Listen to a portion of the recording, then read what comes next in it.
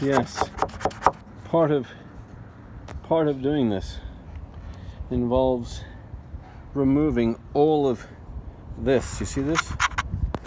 And you what you need to do is you need aircraft remover along with an array of different appliques to remove it so that your skin is void of any contaminants. So right here, you've got your, you know, sorry my camera looks terrible, I'm up here high up, but you get the idea. You have to, you have to remove every little drop of,